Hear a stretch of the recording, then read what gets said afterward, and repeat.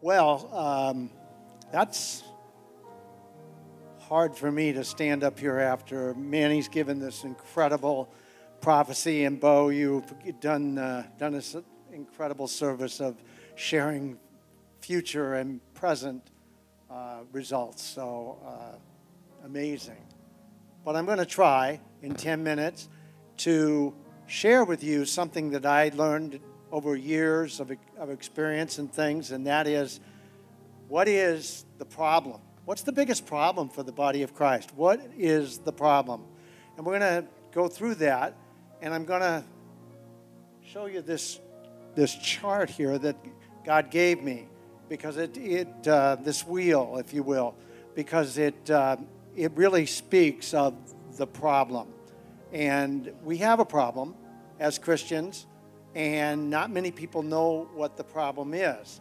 So I'm going to ask you to help me here uh, to be honest and to be forthright and to tell me how many of you tonight would call yourselves perfectionists. You have a perfectionistic tendency. Be honest, how many? Okay, about, about uh, third, third, third of the people. How many people really, really like being in control. Like being in control. Raise your hands. Well, that's about the same group.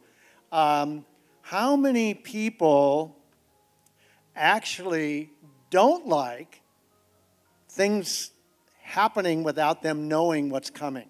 How many of you? Okay, okay, good, good. I, I really appreciate your honesty. And the reason why that's so important to be honest is because right now I'm going to share with you why and what happens when you raised your hands and you know basically said I'm a perfectionist, I like control, I don't like things being unpredictable. This wheel here is something that God gave me and it's phenomenal because it explains all of our lives in very, very quick order. And we have a inner hub, and that's the spirit. And we have an outer, uh, outer we, uh, rim, excuse me, and it has mind, will, and emotions, body, finances, and relationships. Okay?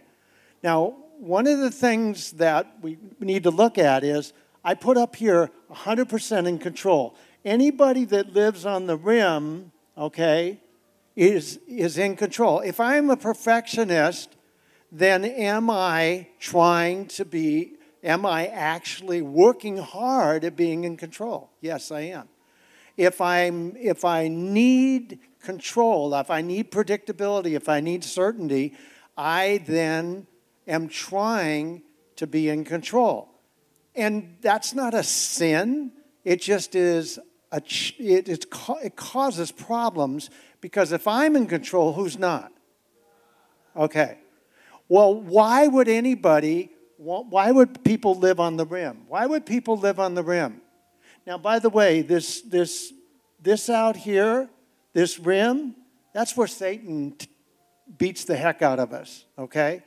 And that's, a, and that's a real problem. So, what we need to do is we need to figure out why do I need to be in control? Well, the reason I need to be in control is because of what happened to me as a child, a uh, baby, infant, toddler, small child.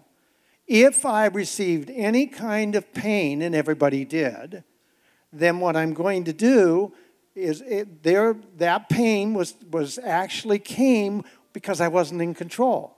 See, if I was in control, there wouldn't be any pain.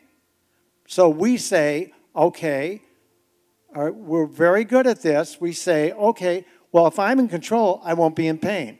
Uh, that's unfortunately not true. But it seems true, and we all seem to, to, to lean towards that, and we really are fooling ourselves. It's an illusion. Nobody's in control, it's all an illusion.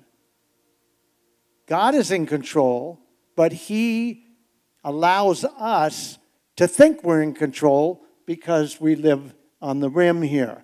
Now, the, the key is the Bible says if you lose your life, you find it. If you find your life, you lose it. I think the quickest way to realize that is if I'm in control, then I, then I have found my life. Okay? If I'm out of control, then I've lost my life. Adam and Eve uh, were 0% controlled. They were totally controlled by God. They were living at the hub, okay? And what ended up happening is, is they sinned, they ate, and they went from the hub to the rim instantaneously. And when that happened, they then are having to fight this whole thing of control. So that's what ends up happening. Down at the hub, we're in 0% control, and that's where God controls us 100%. Now, that's very hard to get to because the problem is this perpendicular spoke, if you will, is, I wrote on it trust. The biggest problem in the body of Christ is people don't trust God. I didn't trust God. I couldn't trust God because of the way that I was raised. I was an abusive father. I couldn't trust God. I one time went to God and I said, God, I want to trust you, but please don't hurt me. Why? Because my father had hurt me so many times. Well, the devil's not a fool. He wants parents to do the things that, that he gets them to do, and he does get them to do it. I have no time to explain that today, but he does get them to do it. And what happens then, we don't, control, we don't trust parents. If I don't trust my parents, then how am I ever going to trust God? I can't. And so what ends up happening is I don't trust my parents, so I trust who? Myself, exactly. Exactly. And so we have a problem in the body of Christ with people trusting God. The second biggest problem in the body of Christ is that if I received any pain in my childhood, any pain whatsoever, and that, that can be neglect, can be abuse, eh, physical, psychological. I was psychologically very abused and physically abused. But it also can be, God forbid, sexual abuse. It can be also neglect. Neglect is one of the worst ones. I've, I've worked with, I had a church for 12 years, and I worked with hundreds of people that were, you know, that had emotional issues. The worst one I ever had to deal with was neglect because people don't even know that they exist. The, the problem is any kind of pain because of how God designed our brains will cause us to believe things about ourselves that aren't true. And how many of you have ever had emotional upset with a spouse? Raise your hand. Okay, most of you. Uh, how many of you have had emotional upset with, uh, with your kids? Okay? What, was it the spouse? Was it the child? Or was it you? How many would say it's the child or the spouse? It's you. It's God's gift to us because we cannot know when we are believing things about ourselves that aren't true, that are lies, and we don't really have a knowledge of that because it's below conscious thought. And when it's below conscious thought, we can't know it until we get emotionally upset or called triggered. So the second most difficult and, and biggest problem is that we, uh, we believe things about ourselves that aren't true. I wrote the book to help people, first of all, know there's a huge problem. There is a very big problem in the body of Christ. Why is the Christian life so hard to live? Because one of the reasons is, is because we're wounded. We are emotionally wounded.